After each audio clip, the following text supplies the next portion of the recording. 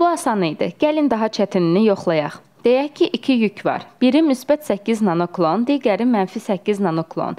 Burada bir ölçülü fəzanın məsələsi olan yüklər arasındakı elektrik sahəsini yox, P nöqtəsində olan elektrik sahəsini soruşuram. Bu iki ölçülü fəza məsələsidir. Çünki əgər buradakı əvəzləyici elektrik sahəsini tapmaq istəyiriksə, bu nöqtədəki elektrik intensivliyinin n istiqamətindəki ölçüsü başlanğıcdakı ilə eyni olacaq. Bilirik ki, hər bir yük burada müəyyən istiqaməti olan bir sahə yaradır. Bu müsbət yükün intensivliyi özündən çıxan istiqamətdədir. P nöqtəsində müsbətdən çıxan ox belə görünür. Bu intensivliyi mavi Y adlandırıram. Çünki o mavi yük tərəfdən yaradılıb. Bu mənfi yükün isə bu nöqtədəki intensivliyi özünə doğrudur. Radial olaraq özünə doğru gəlir. Buna oxşayır.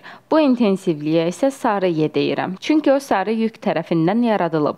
Hələlik yaxşıdır. Yanaşma eynidir, amma bəzi şeylər fərqlidir. Baxın, bu intensivliklər eyni istiqamətdə deyillər. Onlar bu iki ölçülü fəzada uzanırlar və biz onların əvəzləyici intensivliyini tapmaq istəyirik. İki ölçülü elektrik intensivliyi məsələlərində intensivliyi komponentlərinə ayırmalıyıq. Başqa sözlə, müsbət yük tərəfindən yaranan intensivliyin komponenti üfüqidir və sağa doğru yönəlib. Bunu mavi Y X adlandırıram, çünki o mavi müsbət yük tərəfindən yaradılan üfüqi komponentdir. Bu intensivliyin komponenti isə şaqulidir və yuxarı doğru istiqamətlənib. Bunu mavi Y Y adlandırıram. Eynilə bu mənfi yükün yaratdığı üfüqi elektrik intensivliyi sağa doğrudur. Buna sarı YX deyirik. Şaquli komponent isə aşağı doğru yönəlib. Ona sarı YY deyirik. Əvəzləyici elektrik intensivliyini tapmaq üçün bütün bu komponentlərlə nə edirik? İki ölçülü elektrik məsələlərində əsas müxtəlif istiqamətlərdə olan elektrik intensivliyinin komponentlərini tapmalısınız. Necə deyərlər, parçala və hökm sür. Əvəzləyici intensivliyin üfüqi və şaquli komponentlərinin nə olduğunu soruşur. Əvəzləyici intensivlik üçün Pifaqor teoremini istifadə edərək onları birləşdirə bilərik. Amma bu məsələ biraz asandır. Çünki simmetriya var və bu halda zamana qənaət etmiş oluruq. Demək istəyirəm ki, bu yüklərin hər ikisinin yükü eynidir. P onların ortasında olduğuna görə müsbət yükdən P-yə qədər olan məsafə mənfi yükdən P-yə qədər olan məsafəyə bərabər olacaq və bu yüklərin bu nöqtədə yaratdığı intensivlik də bərabər olacaq. İntensivliyin istiqaməti isə fərqlidir. Buradan görünür ki, müsbət yükün intensivlik komponenti yuxarıya doğrudur. Onun nə qədər olduğunu bilmirik, amma yuxarıya olduğu üçün müsbətdir. Bu mənfi yükün intensivlik komponenti mavi ilə eyni qədərdir, amma aşağıya doğru olduğu üçün mənfi işarəlidir. Başqa söz sözlə müsbət yük tərəfindən yaradılan intensivlik yuxarıya, mənfi yük tərəfindən yaradılan isə aşağıya doğru olur. Bu iki şaquli intensivlik komponentini toplayanda 0 alırsınız. Onlar bir-birini ixtisar edir və bu bizim işimizə yarayır. Geriyə sadəcə üfüqi komponentlər qalır. Onlar ixtisar olunmurlar. Bunu necə bilirik? Çünki ikisi də sağa doğrudur. Əgər biri sağa, digəri sola olsaydı, onda üfüqi komponentlər ixtisar olardı. Amma bu baş vermir. Bu komponentləri toplayanda x istiqamətində ümumi komponentlər alırıq və bu hər iki yükdən 2 dəfə çoxdur. Çünki hər iki yükün intensivliyi simmetriya məsələsi olduğu üçün x oxu istiqamətində eynidir. Qısası Biz bu məsələni sadəcə ümumi intensivliyin üfüqi komponentini tapana qədər asanlaşdırırıq. Bunu etmək üçün bizə hər bir intensivliyin üfüqi komponentləri lazımdır. Əgər müsbət yükün yaratdığı intensivliyin üfüqi komponentini tapsam, sağa doğru olduğu üçün Bu ümumi intensivliyə müsbət təsir edəcək. Daha sonra isə ona sarı intensivliyin üfüqi komponentini əlavə edirəm. Çünki o da mənfi olmasına baxmayaraq sağa doğrudur. Bu intensivliyin üfüqi komponenti müsbətdir, çünki sağa doğrudur. Əgər onların ikisini də tapsam, onları toplayaraq x oxundakı ümumi intensivliyi tapa bilərəm. Bəs bu üfüqi komponentləri necə tapım? Mavi intensivliyin üfüqi komponentini tapmaq üçün öncə mavi intensivliyin özünün nə olduğunu tapmalıyam. Bunun üçün düstur bilirik. Bunu buraya yazacağam. İntensivliyin qiyməti həmişə K vur Q bölünsün R kvadratıdır. Bu mavi intensivlik Y deyək 9 vur 10 üstü 9 Yük 8 nanoklondur. Nano 10 üstü mənfi 9 deməkdir. Onu R-ə bölmüşük. Bəs R nədir? O 3 ya da 4 deyil. Xatırlayın ki, buradakı R yükdən intensivliyi tapmaq istədiyiniz nöqtəyə qədər olan məsafədir. Yəni R budur. Bu məsafə R-dir. Bəs bunun nə olduğunu necə tapırıq? Burada bəxtimiz gətirib 3, 4, 5 üçbucağı haqqında bilirsinizsə, baxın bu tərəf 3 metrdir. Bu tərəf isə 4 metrdir. O tərəfdə avtomatik 5 olur. Bu sizi qane etmədisə Pifaqor teoremini tətbiq edə bilərsiniz. Pifaqor teoreminə görə düzbucaqlı üçbucaqda a kvadratı üstəgəl b kvadratı bərabərdir c kvadratı. A bu tərəfdir 3, B 4 metr olan tərəfdir. C isə R olacaq. Buna R kvadratı deyəcəm. R-i tapmaq istəyiriksə kökdə 9 üstəgəl 16 sizə 5 verir və bu dediyimiz kimi R-dir.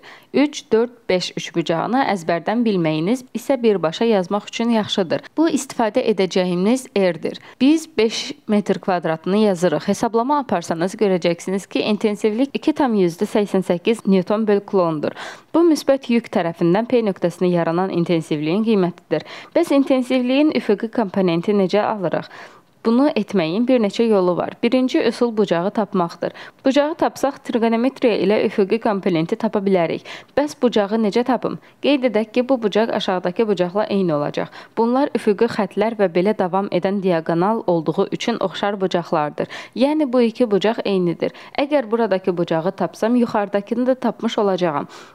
Bu bucağı necə tapa bilərəm? Üçbucağın hər tərəfini bilirəm. Ona görə də sinus, kosinus ya da tangens istifadə edə bilərəm. Tangens istifadə edəcəyəm. Bilirik ki, üçbucağın tangensi qarşı bölünsün bitişik tərəfdir. Bucağın qarşı tərəfinin 4 metr, bitişik tərəfinin isə 3 metr olduğunu bilirik. Tangens 3-də 4-dür. Tetanı necə tapaq? Teta tangensin, yəni 3-də 4-ün tərsidir. Sadəcə hər iki tərəfdə tangensin tərsini yazırıq. Solda teta alınır və kalkulyatora yazsanız 53,1 dərəcə alacaqsınız. Buradakı bucaq budur. Və bunlar eyni bucaqlar olduğuna görə buradakı bucaq da 53,1 dərəcə olacaq. Bu horizontal komponent 3 metrlə, bu diaqonal intensivlik də buradakı 5 metr qədər deyil. Amma bu uzunluqların arasındakı bucaq eyni olduğuna görə komponentlər eynidir. Üfüqi komponenti almaq üçün nə edirəm? Bura bu bucağa bitişik tərəfdir. Bu y, x bu bucağa bitişikdir. Kosinus istifadə edəcəyik. Deyirik ki, kosinus 53,1 dərəcə yx olan bitişik tərəfdir. Bunu yx böl hipotenuz kimi yazırıq və sonra hipotenuzu tapırıq. O buradakı üçbucağın hipotenuzu olan ümumi intensivliyin qiymətidir və 2,88-ə bərabərdir. Alırıq ki, Yx 2,88 Newton bölünsün klon vurulsun. Kosinus 53,1-dir. Bunu kalkulyatora yazsanız 1,73 Newton böl klon alacaqsınız. Müsbət yük x istiqamətində bu qədər intensivlik yaradır. Yuxarıdakı komponent budur. Bu 1,73 Newton böl klondur. O budur. Onu buraya qoyacağam. Mənfi yük tərəfindən yaranan sarı intensivliyin üfüqi komponentini almaq üçün bütün bunları edə bilərəm və ya simmetriyanın hesabına Bu üfüqi komponent müsbət yük tərəfindən yaranan buradakı üfüqi komponentə bərabər olacaq. Hər ikisi 1,73-dür və sağa doğru olduğuna görə hər iki komponent müsbətdir. X istiqamətindəki ümumi intensivliyi almaq üçün müsbət yükdən 1,73 götürürük və bunu mənfi yükün üfüqi komponentinə əlavə edirik, hansı ki o da 1,73-dür.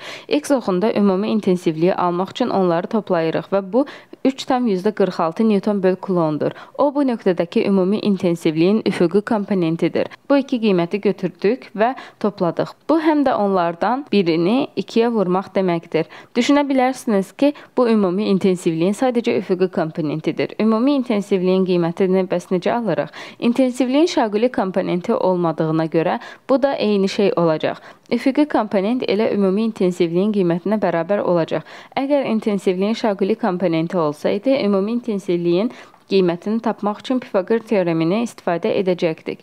Amma şaquli komponentlər ixtisar olunur və sadəcə üfüqi komponent qaldığına görə bu nöqtədəki ümumi intensivlik sağa yönəlir və bu horizontal komponentin 2 qatına bərabər olur. Onları toplayanda 3,46 Newton böl klon alınır. Bu ümumi intensivliyin qiyməti və düz sağa doğru yönəlir. Yenidən desək, iki ölçülü intensivlik məsələsi olduqda hər yükün yaratdığı intensivliyi çəkin və onları komponentlərinə bölün. Əgər simmetriya varsa, tapın ki, hansı komponentlər ixtisar olunur. Sonra isə ümumi intensivliyi tapmaq üçün ixtisar olunmayan komponentləri işlədin. Daha sonra hər yükün bu istiqamətdə olan tərsini müəyyən edin. Həmin komponentlərin sağa və ya sola istiqamətinə uyğun olaraq onları toplayın və ya çıxın. Bu sizə iki yük tərəfindən yaranan ümumi intensivliyi verəcək.